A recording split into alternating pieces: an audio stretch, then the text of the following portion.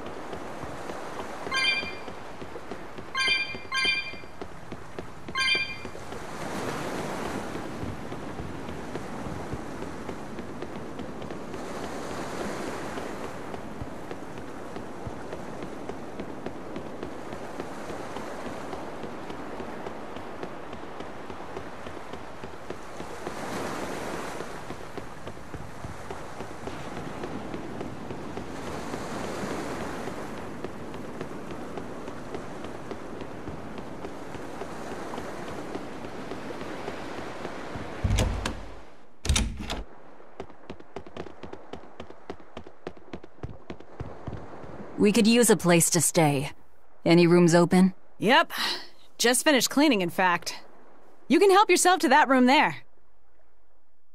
All right, time to start deciphering this scroll. Let's wait somewhere outside so Grim can concentrate. Um, do you think maybe I could stay and watch? I really do want to study the ancient tongue. I promise I'll be quiet and not get in your way, teacher. What did you just say, child? Uh, that I'd be quiet and. No, what did you call me? Teacher? You said you didn't want to be called ma'am, so I thought maybe that'd work.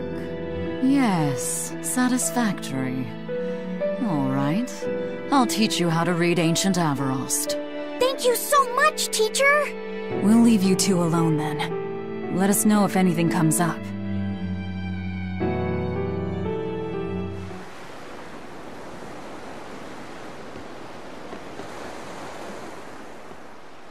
Plan on just giving up? Palamedes is Amenoch's temple. The priestess isn't the only one whose job it is to protect that temple. It's the duty of everyone born in this village. Why did the Abbey need Amenoch's temple badly enough to risk causing this much unrest? But how will we protect our village from the demons if the Abbey abandons us? Besides, we won't be able to do business with the people of Yseult anymore. Our faith in Amenoch has nothing to do with the demons. When the priestess gets back, I'm going with her to protest. The demon blight changed everything. Will we never be able to return to the way things were? The way things were.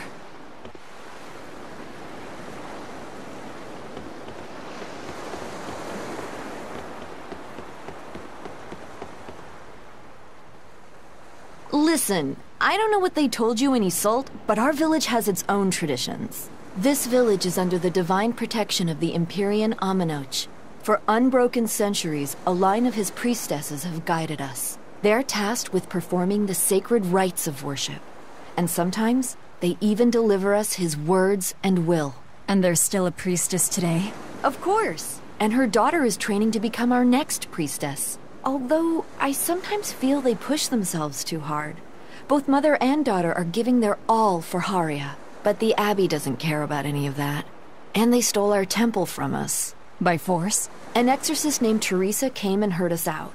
But from the very beginning, she always intended on taking our temple. Her words may have been kind, but that doesn't change the fact that she demanded that we worship her god, Innominat. In all the years we've worshipped Amenoch, not once did we ever try to force others to adopt our beliefs. Why haven't I seen this priestess she's talking about?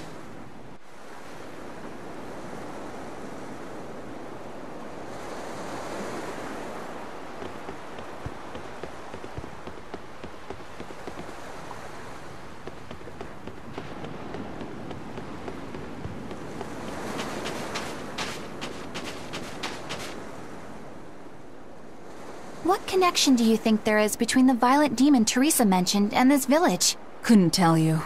Could there have been a demon blight breakout here?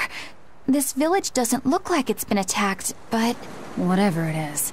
If it keeps the Abbey's eyes off us for once, that's good enough for me. You really will use anything and everything towards your own aims, won't you? Yep, and that includes you. As I'm sure you've noticed.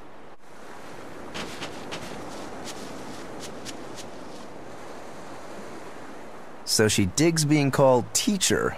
Well played, Laphicet. She wasn't so fond of ma'am, so I guess he figured he needed an alternative. You can tell how badly he wanted to help her with the languagey work. I think our Malak boy's finally finding himself. So it would seem.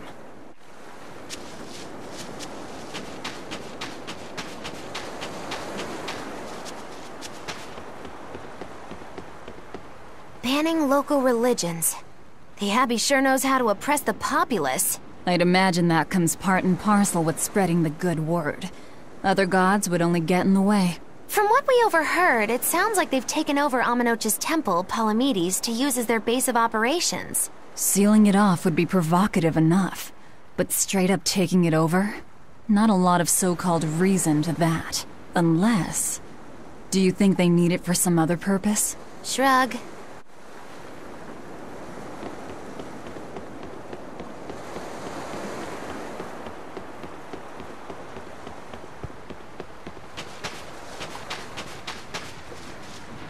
It sounds like deciphering the text might take some time. We should be prepared to wait it out here a while. Hopefully it'll all be worth it in the end. I hope so too. But ancient Avarost is complex. It's not just a matter of knowing the grammar and vocabulary. Oh? Then how exactly do you read it? I'm not sure about the specifics myself, but from what I understand, you kind of have to intuit a lot of it. A language based on guesswork? Thanks, old dead people. You're officially the worst.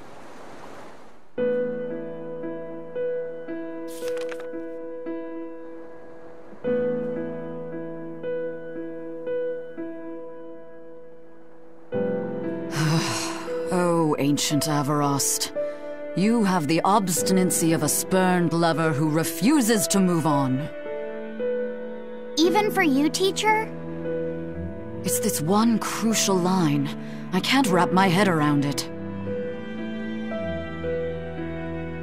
Er, well, from what you've taught me so far, it looks like it says Saw, Popo, Mucho, Sanchon.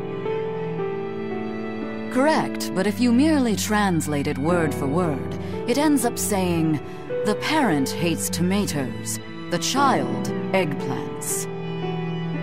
I doubt those have much to do with Innominat. yeah. Their grammar is nothing like ours. Sometimes you have to reorder the words, and even then the meaning can require leaps of logic and flashes of intuition. Reordering? So, like, San San, Pocho Pocho, Pocho Musan, Pocho Musan. Can you read it that way? Pocho Muson. Now, where did you get that from? These words are lined up, like they repeat. And when I read this part that same way, it just felt right. Pocho Muson. Hmm, if that's repeated here, then the passage turns into. The Nameless Empyrean. Empyrean! Ho ho, that has to refer to Innominat. I think we're on to something. Alright, so if we apply this rule here, then. Hmm, hmm. It would seem to be a book of children's counting songs. It's not about Innominat? What matters is what the song says, child. And I think you will be very interested in the words. I wonder if they've made any progress yet. Shall we go check on them?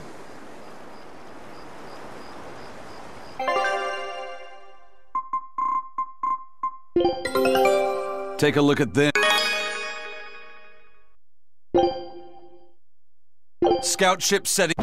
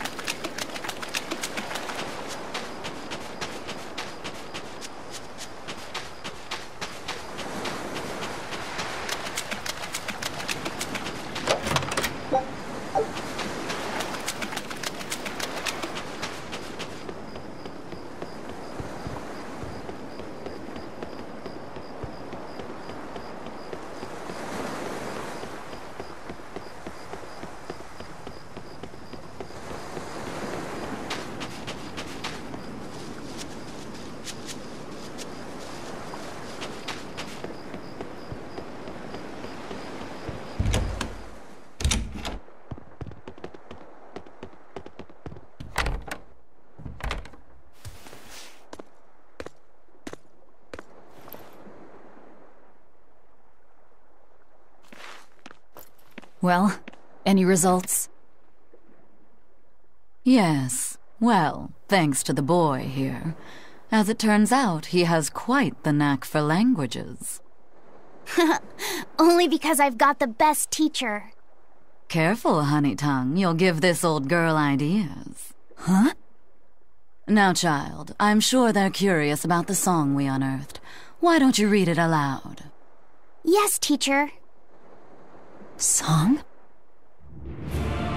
Eight headed is the lord of the land, with seven mouths to devour malevolence.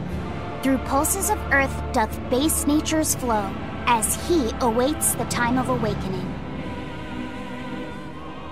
Four Empyreans may tear him asunder, but so long as there is one receptive to divine power, Therions shall be forever reborn, in sight of the full crimson moon. The nameless Empyrean hath one heart. The nameless Empyrean hath one body. Therions?